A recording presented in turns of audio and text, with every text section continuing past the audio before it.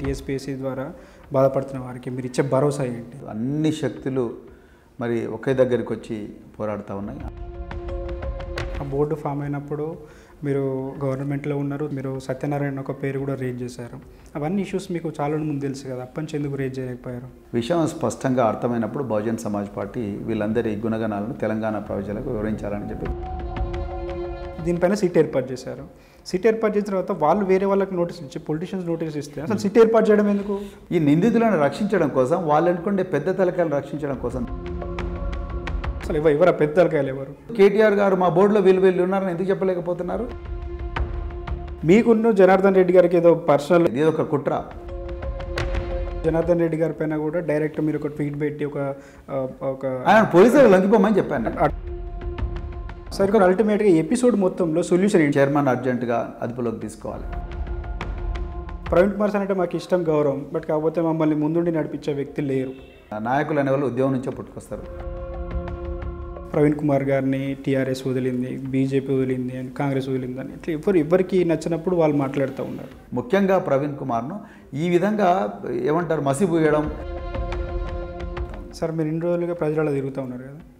మీరు గుర్తించిన ప్రధాన సమస్యలు ఏంటి? ప్రధాన సమస్య ఈ దేశంలో ఈ రాష్ట్రంలో పాలన లేదు. పాలకుడు పారిపోయారు మీరు ఇప్పుడు అదే సార్ అంటే ఎంతసేపు అది ఎలక్షన్ టైం దగ్గర ఉంది కదా ఇవన్నీ చెప్తా ఉన్నారు కరెక్టే. వాళ్ళని నడిపించే వ్యక్తులు లేరు. ప్లస్ ఇంకోటి అరెస్టులు బీవచ్చని జరుగుతూ ఉన్నాయి. మిమ్మల్ని ఎవరైతే చూపిస్తూ ఉన్నారో కొంత మిమ్మల్ని ఫోకస్ చేస్తూ ఉన్నారు వాళ్ళని అరెస్ట్ చేస్తూ ఉన్నారు. వాళ్ళ కోసం పోరాడుతూ ఉన్నారు టీఎస్పీసీ పైన పోరాడుతూ ఉన్నారు కేసుల పైన పోరాడుతూ ఉన్నారు ఇవన్నీ ఎక్స్ప్లెయిన్ చేస్తూ ఉన్నారు. అంటే ఎట్లా సాధ్యమవుతుంది పోరాటం ఇది మా జీవన విధానం. సో పోరాటం లేని ప్రవీణ్ కుమార్ లేడు ప్రవీణ్ కుమార్ లేని పోరాటం లేదు. తెలంగాణ సమాజానికి మీరు ఇచ్చే మీరు ఇచ్చే షార్ట్ మెసేజ్ ఏంటి? షార్ట్ మెసేజ్ మీ ఓటును దయచేసి అమ్ముకోకండి. అమ్ముకుంటే మరొకసారి దోపిడీకి గురవుతాం. మీ మీ అంతిమ లక్ష్యం ఏంటి సార్? పేద ప్రజలను పాలకులుగా చేయడం ఈ దేశాన్ని సమాన దేశంగా చేయడం కొందరి తెలంగాణను అందరి తెలంగాణ చేయడం అందరికీ సమానమైన అవకాశాలు చూడడం స్వేచ్ఛ స్వాతంత్రం అదేవిధంగా న్యాయం సమన్యాయం స్వాతంత్రం స్వేచ్ఛ ఇవన్నీ కూడా ప్రజలకు అందేలా చూడడం. మీరు అనంతపురం ఎస్పీ పనిచేసినప్పుడు పరిటాల రాయ్ మర్డర్ జరిగింది సార్. అసలు మర్డర్కి ముందు తర్వాత ఏం జరిగింది మర్డర్కి ముందు నేను అవును పరిటాల రవికి నేను నాకున్న సమాచారం మేరకు నేను పరిటాల రవికి నేను వాడిని నమస్కారం. టైమ్స్ ఆఫ్ ఇండియా సమీకి స్వాగతం. సార్ నమస్కారం ప్రవీణ్ కుమార్ గారు.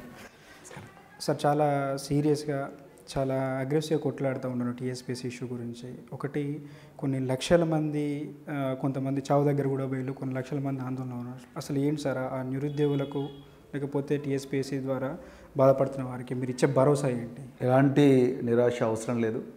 మంచి రోజులు తప్పకుండా వస్తాయి. మేమందరం కూడా ఆ మంచి రోజుల కోసం కొట్లాడుతున్నాం. అత్యంత పారదర్శకంగా నిజాయితీగా నిక్కచ్చిగా ఒక బోర్డు ఉండాలని ఒక కమిషన్ ఉండాలని చెప్పేసి మేము పోరాడుతూ ఉన్నాం. త్వరలోనే మంచి రోజులు వస్తాయి. ఆ రోజులు వచ్చేదాకా మా పోరాటం ఆగదు. అన్ని శక్తులు మరి ఒకే దగ్గరికి వచ్చి పోరాడుతూ ఉన్నాయి. అందుకొరకు నిరుద్యోగులు ఎట్టి పరిస్థితుల్లో కూడా నిరాశకు ఉండాల్సిన అవసరం లేదు. ఇది కేవలం ఒక ఎగ్జామ్ రెండు ఎగ్జామ్లకు సంబంధించిన సమస్య కాదు. భావితరాల భవిష్యత్తుకు సంబంధించిన విషయం. అందుకొరకు ఎలాంటి నిరాశ నిస్పృహలు అవసరం లేదని నేను అంటాను సార్ ఇప్పుడు మంచి బోర్డు అని ఇప్పుడు అంటున్నారు. ఆ బోర్డు ఫామ్ అయినప్పుడు మీరు గవర్నమెంట్లో ఉన్నారు తర్వాత బయటకు వచ్చారు ప్లస్ మీరు సత్యనారాయణ ఒక పేరు కూడా రేజ్ చేశారు. అవన్నీ ఇష్యూస్ మీకు చాలా ముందు తెలుసు కదా అప్పటి నుంచి ఎందుకు రేజ్ చేయలేకపోయారు? ఏవి? అంటే టీఎస్పీ సంబంధించి బోర్డు మెంబర్ ఒక అతను సత్యనారాయణ గురించి అని చెప్పి మీరు మీరు చాలా డైరెక్ట్ అని చెప్పారు పేర్లు కూడా చెప్పారు. అవును నేను నిన్న కూడా చెప్పాను. సత్యనారాయణ ఒక్కరే కాదండి. టీఎస్పిఎస్సి బోర్డులో టీఎస్పిఎస్సి కమిషన్లో మీకు జనార్దన్ రెడ్డి గారు మాజీ ఐఏఎస్ అధికారి. తర్వాత ముఖ్యమంత్రి గారి కార్యాలయంలో ఓఎస్డీగా పనిచేస్తున్న రాజశేఖర్ రెడ్డి గారి సొంత బావ టీఎస్పిఎస్సి ప్రొఫెసర్ లింగారెడ్డి గారు టీఎస్పిఎస్సి సభ్యుడు. తర్వాత సత్యనారాయణ గారు టీఆర్ఎస్ జిల్లా అధ్యక్షుడు. దాని తర్వాత తనోబా అని ఇంకొక మహిళ తెలంగాణ జాగృతి కామారెడ్డి జిల్లా అధ్యక్షురాలు ఒకప్పుడు. సో అంటే మొత్తం వాళ్ళ పార్టీ వాళ్ళని తర్వాత కారం రవీందర్ రెడ్డి అని టీఎన్జిఓస్ అధ్యక్షుడు. సో వీళ్ళందరూ కూడా ముఖ్యమంత్రికి అత్యంత సన్నిహితంగా ఉన్న వ్యక్తులు. వీళ్ళందరూ వచ్చిండ్రు అంటే దీని మీద మేము నిజంగా ఇంత ఏమంటారు ఈ లీక్ వచ్చేంత వరకు కూడా మేము దీని మీద ఇంత డీప్గా ఫోకస్ చేయలేదు. కానీ లీక్ వచ్చిన తర్వాత దీన్ని ప్రభుత్వం ఎప్పుడైతే కమిషన్ వెనకేసుకొస్తున్నది కమిషన్లో ఉండే దొంగలను ఇంటి దొంగలను రక్షించాలని చూస్తున్నదన్న విషయం స్పష్టంగా అర్థమైనప్పుడు బహుజన్ సమాజ్ పార్టీ వీళ్ళందరి గుణగణాలను తెలంగాణ ప్రజలకు వివరించాలని చెప్పి ఏ పార్టీ కూడా చేయలే పని. సో బహుజన్ సమాజ్ పార్టీ ఒకటే స్పష్టమైన రీసెర్చ్తో నిజాలను ప్రజల ముందర పెట్టింది. మిగతా వాళ్ళు రాజకీయ పార్టీ ఏదో పొలిటికల్ కామెంట్ చేస్తూ ఉన్నారు కానీ ఎగ్జాక్ట్గా అక్యురేట్ ఇన్ఫర్మేషన్ తోటి ఎవరు చెప్పలేకపోతే చెప్పట్లేదు అంటే. ప్లస్ ఇంకోటి సార్ ఇక్కడ అర్థం కాని విషయం ఏంటంటే దీనిపైన సిట్ ఏర్పాటు చేశారు. సిట్ ఏర్పాటు చేసిన తర్వాత వాళ్ళు వేరే వాళ్ళకి నోటీస్ ఇచ్చి పొలిటీషియన్స్ నోటీస్ ఇస్తే అసలు సిట్ ఏర్పాటు చేయడం ఎందుకు? అదే నేను అంటున్నా అండి. మేము నిజంగా మేము చేస్తున్నది మేమందరం కూడా ఏం చేస్తున్నాం? మేమందరం కూడా పోలీసులకు మాకు ఈ సమాచారం ఉందని పబ్లిక్ డొమైన్లో పెడుతున్నాం. పోలీసులకు కూడా చేతన కాడికి ఇస్తూ ఉన్నాం. మాకు తెలిసిన సమాచారాన్ని పోలీసులకు మేము ఇస్తుంటే మాకు నోటీసులు ఇచ్చి నిందితులను వాళ్ళకు ఒక నోటీస్ ఇవ్వకుండా ఇప్పుడు జనార్దన్ రెడ్డి గారికి ఇచ్చారా నోటీసు? అనితా రామచంద్రన్ గారికి ఇచ్చారా? తర్వాత ఈ బోర్డు సభ్యులకు నోటీస్ ఇచ్చిండ్రా? వాళ్ళకి లీగల్ ఇమ్యూనిటీ ఉందని ఎక్కడన్నా ఉందా? అంటే చట్టపరంగా న్యాయపరంగా వాళ్ళని ఎవరు విచారించకూడదని ఏమన్నా చట్టంలో రాసిందా? నాకు తెలిసిందో ఏ చట్టం రాసి ఇవ్వలేదు సో అలాంటప్పుడు వాళ్ళకు ముందు నోటీసులు ఇవ్వకుండా వాళ్ళని అదుపులోకి తీసుకోకుండా మమ్మల్ని సతాయించడం ఏంది? అంటే ఈ ప్రభుత్వం ఈ సిట్ ఏర్పాటు చేసింది ఈ నిందితులను రక్షించడం కోసం వాళ్ళు అనుకుండే పెద్ద తలకాయలు రక్షించడం కోసం తప్ప నిజాలను బయటికి తీసుకురావాలన్న నిజాయితీ ప్రభుత్వం దగ్గర లేదు. అందుకొరకే మేము సిబిఐ ఎంక్వైరీ సార్ మీరు నిన్న కూడా అన్- అన్నారు. దీని వెనకాల పెద్దలకాయలు అని చెప్పి. అవునండి. అసలు ఎవరు ఎవరు పెద్దలకాయలు ఎవరు? పెద్ద తలకాయలు అంటే మీకు నేను అందుకొరకే బోర్డు సభ్యుల ప్రొఫైల్స్ మీకు చెప్పాను ఓకే సార్ ఇప్పుడు మీరు మీరు బోర్డు సభ్యులు కాబట్టి వాళ్ళ పేరు డైరెక్ట్ ఓపెన్ చెప్పేశారు. వీళ్ళు వీళ్ళు వీళ్ళు వీళ్ళు అని చెప్పి. పెద్ద తలకాయలు అంటే చాలా డౌట్ వస్తుంది పెద్ద తలకాయలు ఉన్నాయన్నది ఆరోపణలు వస్తున్నాయని చెప్పిన నేను. ఆరోపణలను నివృత్తి చేయాల్సిన బాధ్యత ఎవరిది? ప్రభుత్వం పైన ఉంది, బోర్డు పైన ఉంది పోలీసుల మీద ఉంది. మరి ఎందుకు చేయడం లేదు? మాకు అనుమానాలని చెప్తున్నాం. ప్రజలుగా ప్రజాస్వామ్యంలో ప్రభుత్వాలను అడిగే హక్కు మాకున్నది. ఒక రాజకీయ పార్టీలుగా ఉన్నది కామన్ మ్యాన్గా ఒక పౌరునిగా నాకున్నది. నీకు అది తప్పని నువ్వు చెప్పు విత్ ఎవిడెన్స్ చెప్పు. ఏ విధంగా ఇన్వెస్టిగేట్ చేయాలని కూడా మేము చెప్పాం ప్రభుత్వం ఎందుకు చెప్పడం లేదు? నిజం. అవును మాకు అనుమానాలు ఉన్నాయి. మా అనుమానాలు నివృత్తి చేయండి. మేము ఇవన్నీ అడుగుతున్న ప్రశ్న మీరు నివృత్తి చేయండి.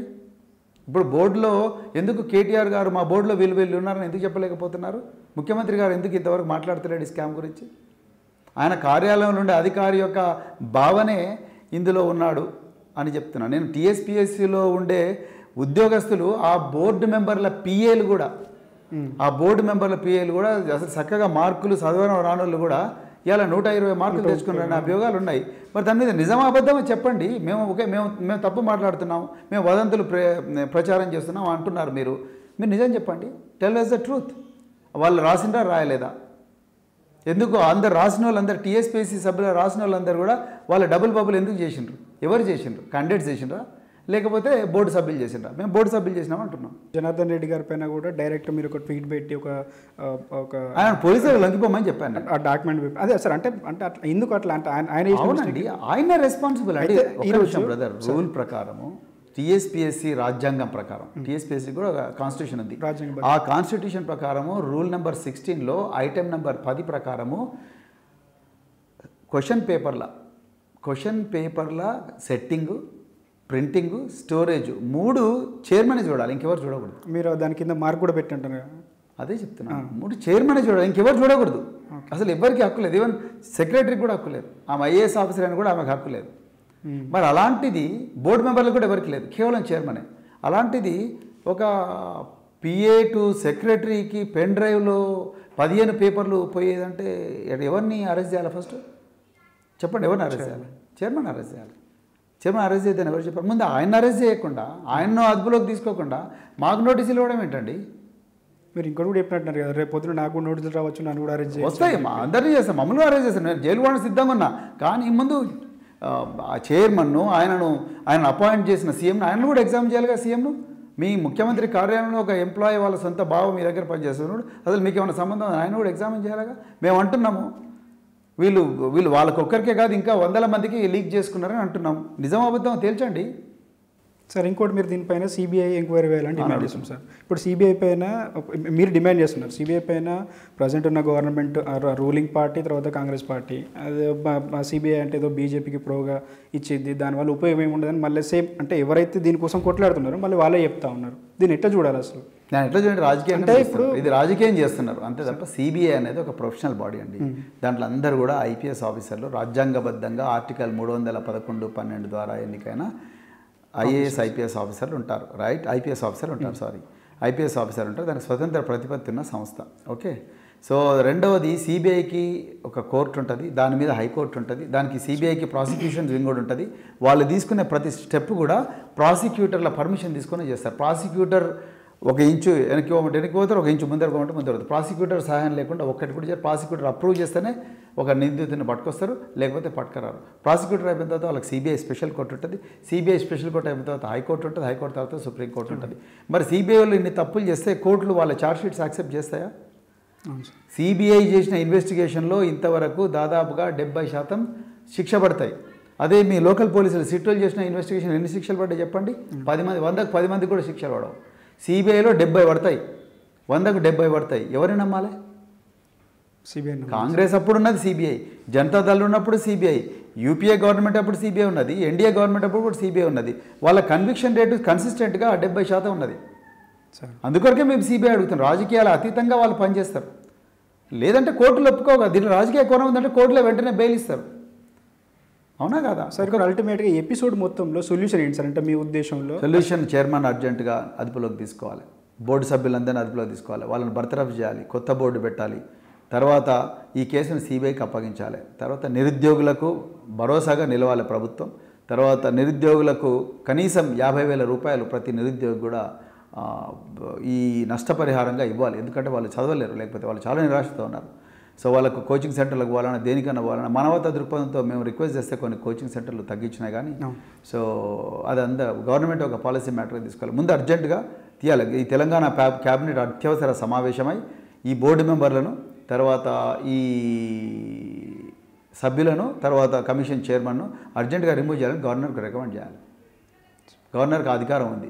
ఆర్టికల్ మూడు వందల పదిహేడు లాస్ట్ టైం కలిసారు ఆర్టికల్ అవును, అదే చెప్పాను. మీకు అధికారం ఉందని నేను చెప్పాను గవర్నమెంట్ గవర్నర్ గారికి. మూడు వందల పదిహేడు క్లాజ్ టూ ప్రకారము క్యాబినెట్ సమావేశమై ఎస్ వీళ్ళకి సమా సంబంధం ఉంది. ఈ క్యాబినెట్ సమావేశం రెండు డెసిషన్లు తీసుకోవాలండి. ఒకటేమో ఈ బోర్డును రద్దు చేయాలి. రెండోది దీంట్లో సిబిఐ ఎంక్వైరీకి ఆర్డర్ చేస్తూ సిబిఐని రిక్వెస్ట్ చేయాలి. దయచేసి వచ్చి దీన్ని ఇన్వెస్టిగేట్ చేయండి రిక్వెస్ట్ చేయాలి. తర్వాత గవర్నర్కి రికమెండ్ చేయాలి. ఏదో కవిత ఈడీ విచారణ పోయింది. దాన్ని డైవర్ట్ చేయడానికి ఇది కావాలని చెప్పి వీళ్ళే బయటకు తీసుకొచ్చారు? లీకేజ్ అనేది నేను పెద్దగా నమ్మనండి. అంటే నమ్మనంటే దాని పెద్ద అదంత ఇంపార్టెంట్ విషయం కాదనిపిస్తుంది. కావే అది వేరే ఇది వేరే. ఇది ఒక ఇన్వెస్టిగేషన్ ఇది ఒక క్రైమ్ అది ఒక క్రైమ్ సో రెండింటి పబ్లిక్ ఇంట్రెస్ట్ డైవర్ట్ చేయడానికి వీళ్ళే గేమ్ ఆడుతున్నారేమో. ప్రస్తుతానికి నేను అంటే పబ్లిక్ రెండింటిని చూస్తున్నారు పబ్లిక్. పబ్లిక్ ఏం డైవర్ట్ కాలేదు. పబ్లిక్ రెండు పబ్లిక్ మరీ అంత అమాయకంగా లేరు. రెండింటిని చూస్తున్నారు. సో వాళ్ళు అనుకున్నంత ఈజీగా అంటే వీళ్ళు యాక్చువల్గా ఏం చేస్తున్నారు టీఆర్ఎస్ వాళ్ళు అంటే ఇదేదో చిన్న కేసు టీఎస్పీఎస్సీ లీక్ అన్నట్టుగా చూపించడానికి ప్రయత్నం ప్లస్ మన మండలి చైర్మన్ గారు ఒక ఒక కామెంట్ చేశారు. ఏ మండలి చైర్మన్? మన తెలంగాణ మండలి chairman. Legislative council chairman. Council chairman Gutta Sukhender Reddy ఏమన్నారంటే ఇప్పుడు పోలీస్ వ్యవస్థలో ఒక పోలీస్ అధికారి తప్పు చేసినందుకు మాత్రం వ్యవస్థను మొత్తం రద్దు చేయాలా? టీఎస్పీఎస్సీలో ఒక ఎంప్లాయ్ తప్పు చేశాడు ఆ, దాన్ని బట్టి మొత్తం రద్దు చేయాలంటే ఎట్లా? గుత్తా సుఖేందర్ రెడ్డి గారు ఎట్లా మాట్లాడుతున్నారో నాకు తెలియదు కానీ ఆయనకు స్పష్టమైన అవగాహన ఉండట్లేదు. ఇందులో తప్పు చేసింది చైర్మన్. మీకున్న జనార్దన్ రెడ్డి గారికి ఏదో పర్సనల్ ఏదో. ఉంది. టార్గెట్ చేశారు అని ఆయనతో నేను ఎప్పుడు పనిచేయలేదు ఇది ఒక కుట్ర. ఆయన ఎప్పుడు నేను గౌరవిస్తున్నాను. నేను ఓపెన్గా చెప్తాను జనార్దన్ రెడ్డి గారు అంటే నాకు గౌరవం ఉంది. కానీ ఆయన ఆయనతో నేను ఎప్పుడు పని చేయలేదు. వాళ్ళు ఐఏఎస్ ఆఫీసర్స్ అండి. నేను ఐపీఎస్ ఆఫీసర్ నాకు ఆయనకి ఎట్లా మేము ఎప్పుడు కలిసి పని చేయలేదు. ఆయన కింద నేను నేను సోషల్ వెల్ఫేర్లో కానీ ట్రైబల్ వెల్ఫేర్ ఉన్నప్పుడు కూడా ఎప్పుడు పని చేయలేదు ఆయన కింద నేను. అంటే మేము పదే పదే మీరు ఆయన టార్గెట్ చేస్తారు టార్గెట్ చేయలేదు. No no no Janardhan Reddy గారిని పర్సనల్గా టార్గెట్ చేయట్లేదు. నేను చైర్మన్ టీఎస్పీ చైర్మన్ చే- ఆయన జనార్దన్ ఉన్నా అక్కడ ప్రవీణ్ కుమార్ మా తమ్ముడున్నా ఎవరున్నా కూడా నేను అదే మాట మాట్లాడతాను ఎవరున్నా అదే మాట మాట్లాడతాను నేను జనార్దన్ రెడ్డి గారిని పర్సనల్గా టార్గెట్ చేయలేదు చైర్మన్ టార్గెట్ చేస్తాను టార్గెట్ అంటే చైర్మన్ అదుపులోకి తీసుకున్నట్టు. ఎందుకంటే అసలు ప్రధాన నిందితుడు చైర్మన్ అందులో. అసలు మీరు ఏ ఎవిడెన్స్ కలెక్ట్ చేయకుండానే ఆ చిన్న ప్రవీణ్ ప్రవీణ్ పెన్ డ్రైవ్లో ఉన్న క్వశ్చన్ పేపర్ల ఆధారంగా నీకు ప్రవీణ్కు సంబంధం ఉంది అని అంటే ఆ తొమ్మిది మంది కాదు జైలుకు పోవాల్సింది. మొట్టమొదట జనార్దన్ రెడ్డి పోవాలి. సరే. క్వశ్చన్ పేపర్లు జనార్దన్ రెడ్డి అంటే చైర్మన్ పోవాలి. జనార్దన్ రెడ్డి వ్యక్తిగతంగా నేను ఇప్పటికి కూడా ఆయన గౌరవిస్తా. కానీ కానీ చైర్మన్ పదవిలో ఉండే ఏ వ్యక్తి అయినా కూడా కస్టడీ ఆయన చేతిలో ఉన్నప్పుడు ఆయన ముందు ఫస్ట్ అదుపులోకి తీసుకోవాలి. పోలీసు వాళ్ళు ఆయనను తీసుకోకుండా అందరి చుట్టూ తిరుగుతూ ఉన్నారు. అదే నాకు ఆశ్చర్యంగా ఉన్నది. సరే ఇప్పుడు సెంటర్లో ఉన్న బీజేపీని ఎదుర్కోవడానికి చాలామంది ఒక కూటమి కట్టుకోవడానికి కొన్ని రకరకాల పార్టీలు కలుస్తూ ఉన్నాయి. ఇక్కడ తెలంగాణలో అందుకు భిన్నమైన పరిస్థితి ఉంది. ఇప్పుడు కేసీఆర్ అనే వ్యక్తి బీఆర్ఎస్ అనే పార్టీ బలంగా ఉంది. ఎవరు అన్న కాదన్నా కొంత బలంగా ఉంది. ఆయన ఎదుర్కోవడానికి మీరు ఒక మీరు ఒక వైపు షర్మిల గారు ఒక వైపు కాంగ్రెస్ బీజేపీ ఇవి మీరు వేరువేరుగా ఇట్లా పోరాటాలు చేస్తే ప్రభుత్వ వ్యతిరేకత ఓట్ ప్రభుత్వ వ్యతిరేక ఓట్ చేయాలి. అది గవర్నమెంట్కు లాభం అయితే నేను ఇప్పుడు రాజకీయాల గురించి ఆలోచించడం లేదు. ఒక మహా మేము అందరం కలిసి ఒక మహా ప్రజా ఉద్యమాన్ని తెలంగాణలో ఈ దోపిడీ దొంగల పాలనను తెలంగాణ ప్రజలను పూర్తిగా దోపిడీ చేసిన ఈ దుర్మార్గ పాలన అంతం వందించాలని చెప్పేసి మేము పోరాటం చేస్తున్నాం. నేను రాజకీయాల గురించి ఆలోచించడం లేదు. అంటే ఈ ఓట్లు చీలిపోతాయా లేదా అవన్నీ అవి తర్వాత వస్తాయి. ఎలక్షన్లు వచ్చినప్పుడు వస్తాయి. ఇప్పుడు దాని గురించి ఇంకేం ఐదారు నెలలు అయితే ఎలక్షన్ ఐదారు నెలలు అంటే ఎంత? దాదాపుగా నూట యాభై నుంచి నూట ఎనభై రోజులు. సో ఇంకా టైం ఉన్నది ప్రతిరోజు విలువైనదే. ఇప్పుడు ఈ పోరాటం ఇంపార్టెంట్. న్యాయం జరగాలి. నిరుద్యోగుల గురించి ఆలోచిస్తున్నాను. నేను రాజకీయాల గురించి ఆలోచించాను. మీరు తిరిగిన ప్రతి ప్రాంతాన్ని ప్రతి జిల్లాలో మేము చాలా మందితో మాట్లాడినాం. అవును. ప్రతి దగ్గర అంటే మిమ్మల్ని చాలామంది ఓన్ చేసుకుంటా ఉన్నారు. కానీ మీరు అక్కడి నుంచి వచ్చి బయటికి వెళ్ళిపోయిన తర్వాత ఒక కామెంట్ వినిపిస్తూ ఉంది. ప్రవీణ్ కుమార్ సార్ అంటే మాకు ఇష్టం గౌరవం బట్ కాకపోతే మమ్మల్ని ముందుండి నడిపించే వ్యక్తి లేరు అనేది ఇక్కడ అస్థానిక ప్రాంతాలు. టైం పడుతుంది టైం పడుతుంది. వస్తారు. నాయకులు అనేవాళ్ళు ఉద్యోగం నుంచే పుట్టుకొస్తారు. నాయకులు అనేవాళ్ళు పోరాటం నుంచి పుట్టుకొస్తారు. మా చాలా చోట్ల నాయకులు ఉన్నారు ఇంకా తయారవుతున్నారు. ఇంతకుముందు ఉండే బీఎస్పీకి ఇప్పుడుండే బీఎస్పీకి గుణాత్మకమైన తేడా ఉన్నది. తప్పకుండా రాబోయే రోజుల్లో బీఎస్పీ ఒక గొప్ప శక్తిగా ఎదుగుతుంది తెలంగాణలో అనే ఆశాభావం అంటే గొప్ప శక్తి ఎదుగుతుందని అంటే మీ స్థాయిలో మీరు చెప్తున్నారు సార్. అంటే పబ్లిక్ పబ్లిక్ దానిపైన అంటే ఆ గొప్ప శక్తికి ఎదుగుతుందని మీరు ఏ విధంగా భరోసా కల్పిస్తారు? భరోసా మేము చేసే పోరాటాలు మా నిజాయితీని నిరూపించుకోవడం ప్రజల సమస్యల మీద నిరంతరంగా పోరాటం చేయడం ఎలాంటి రహస్య ఎజెండా లేకుండా ఓపెన్గా ప్రజల ఎజెండానే మా ఎజెండాగా ప్రజల సమస్యలే మా సమస్యలుగా భావించి ఏ ప్రభుత్వం అది కాబట్టి ఆ ప్రభుత్వంతో పోరాటం చేయడం మా ముందర ఉండే ఎజెండా. సార్ మీరు మునుగోలులో ఫస్ట్ టైం కంటెక్ట్ చేశారు. అక్కడ మీరు ఎక్స్పెక్ట్ చేసిన రిజల్ట్ ఏంటి? వచ్చింది ఏంటి? దానిపైన మీ అనాలిసిస్ ఏంటి? మేము ఎక్స్పెక్ట్ చేస్తే మేము దాదాపుగా అంటే ఒక గొప్ప రిజల్ట్ అంటే విజయం కావాలి అనేది అది ఇదేమంటారు నేల విడిచే సాయం చేయడం అనేది ఉంటుంది. కానీ బట్ మేము తప్పకుండా ఒక పదివేల ఓట్ల దాకా పది పదిహేను వేల ఓట్ల దాకా తెచ్చుకుంటాం అనుకున్నామండి. కానీ మాకు వచ్చింది నాలుగు వేల ఒక వంద నలభై ఆరు. మేము ఒక్క పైసా కూడా ఓటర్లకు ఇవ్వలేదు. సో మాకు అర్థమైంది ఏంటంటే మాకు చాలా గ్రామాల్లో క్యాడర్ అనేది లేదు మాకు. సో కానీ ఇప్పుడు మాత్రం ఆ రిజల్ట్ రాదు. ఇప్పుడు మేము గెలుస్తాం తప్పకుండా. సార్ ఇప్పుడు ఎలక్షన్ అంటే ఫుల్ కాస్ట్లీ అయిపోయింది. ఇంక- ఇంకెంత టైం ఉన్నా కూడా. మీరు డబ్బులు పంచకుండా మునుగోలు ఆ టైప్ ఆఫ్ రిజల్ట్ వచ్చింది.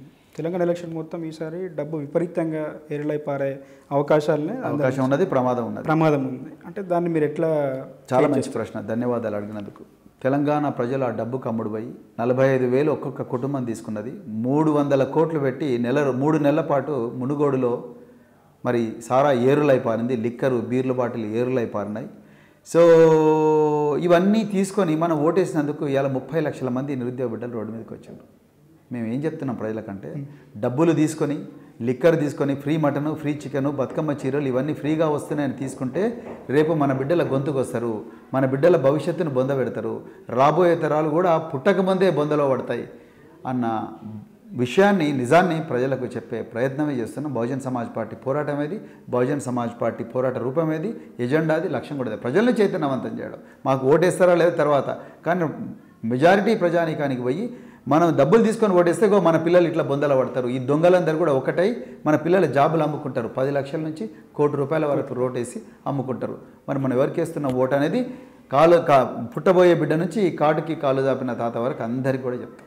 ఏ పొలిటికల్ పార్టీ అయినా ప్రవీణ్ కుమార్ గారిని టీఆర్ఎస్ వదిలింది బీజేపీ వదిలింది అని కాంగ్రెస్ వదిలింది అని ఇట్లా ఎవరు ఎవరికి నచ్చినప్పుడు వాళ్ళు మాట్లాడుతూ ఉన్నారు.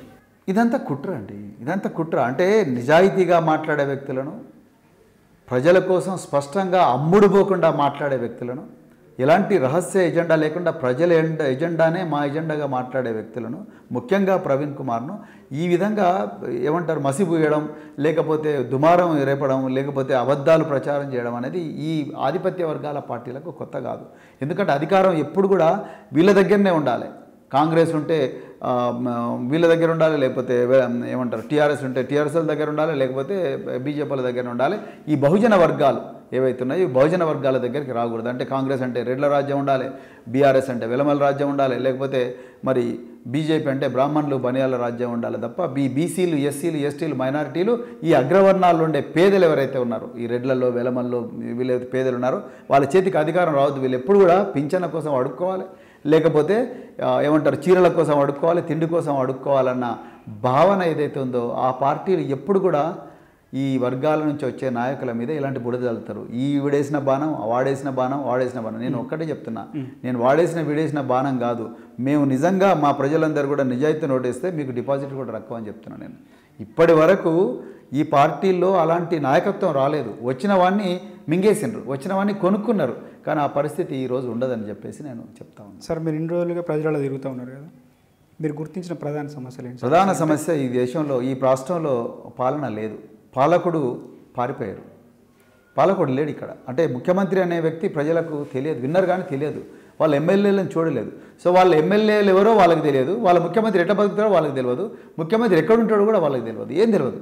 ప్రస్తుతం జరుగుతున్న పరిణామాలపైన ప్రస్తుతం జరుగుతున్న పరిణామాలపైన అంటే కవిత కేసు కావచ్చు టీఎస్పీఎస్సీ కావచ్చు ఇంకా మీరు చెప్పిన ఈ పరిపాలన విషయం కావచ్చు.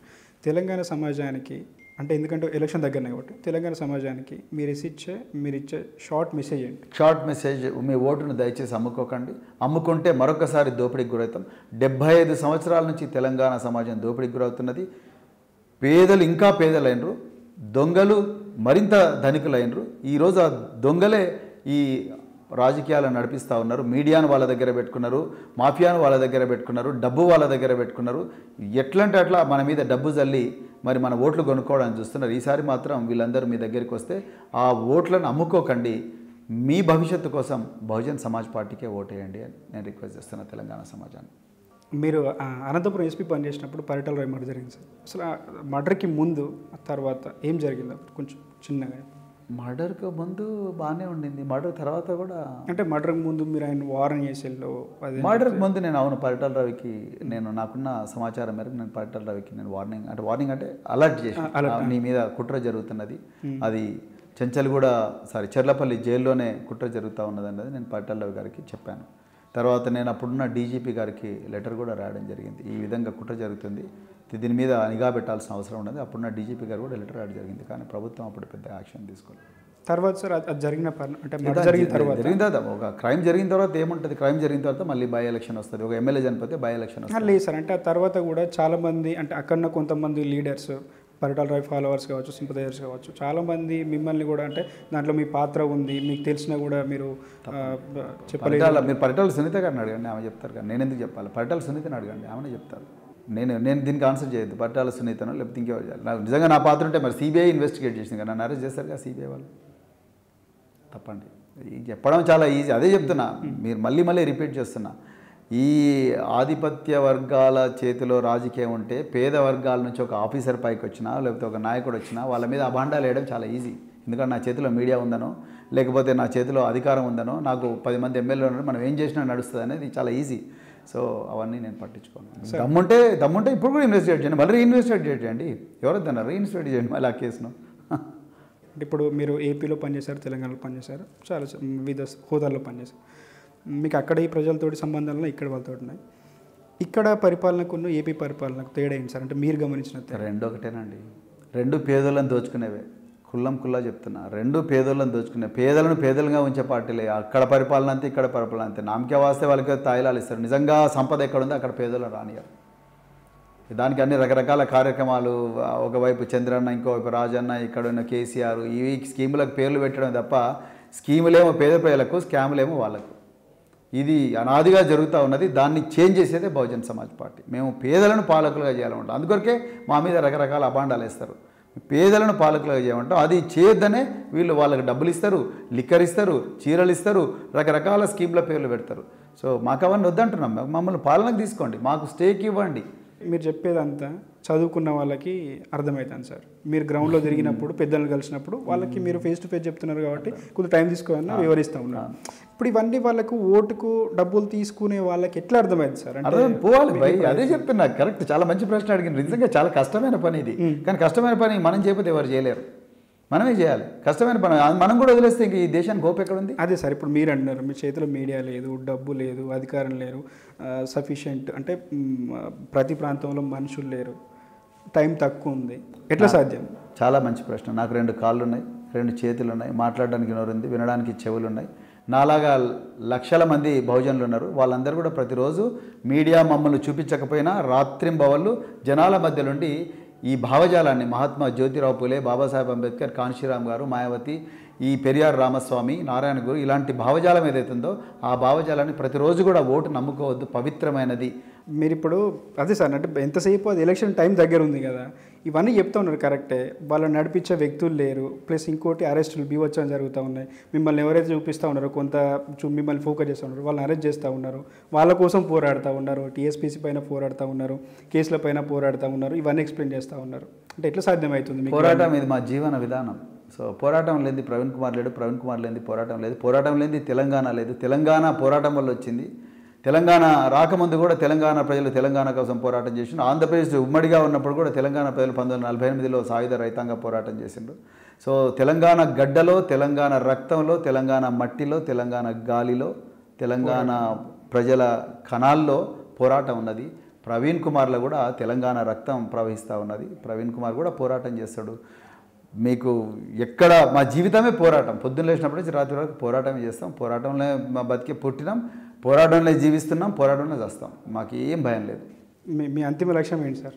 పేద ప్రజలను పాలకులుగా చేయడం ఈ దేశాన్ని సమాన దేశంగా చేయడం తెలంగాణను కొందరి తెలంగాణను అందరి తెలంగాణ చేయడం అందరికీ సమానమైన అవకాశాలు చూడడం స్వేచ్ఛ స్వాతంత్రం అదేవిధంగా న్యాయం సమన్యాయం స్వాతంత్రం స్వేచ్ఛ ఇవన్నీ కూడా ప్రజలకు అందేలా చూడడం రాజ్యాంగాన్ని రక్షించడం. నమస్కారం సార్. మీ లక్ష్యం నెరవేరాలని కోరుకుంటాం Thank you. Thank you sir